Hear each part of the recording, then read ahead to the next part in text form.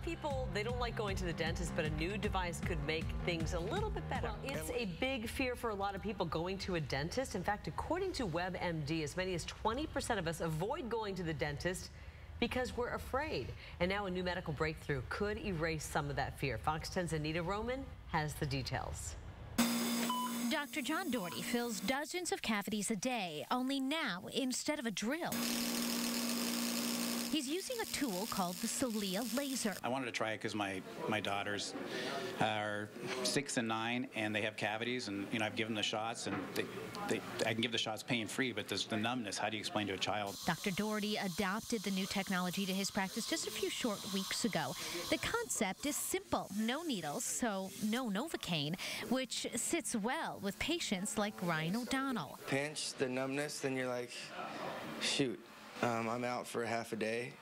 I get to hear all this drilling and bzz, bzz, you know, and everything in your mouth. O'Donnell came in to have two cavities filled, unaware of how simple and painless the laser is. He said, open your mouth. He goes, I'm going to start working on it. And I was like, all right. And I felt water and air. That's it. Just like with any other laser procedure, the dentist, the dental assistant, the patient are required to wear protective eyewear. That's really the only difference that you'll see in this procedure. It basically shines a light on the tooth and it slowly vaporizes the tooth away pain-free. The cavity is filled the same way it is with a regular or traditional procedure. There are only about 70 lasers like this one being used nationwide. Dr. Doherty is the only dentist in the valley who has one.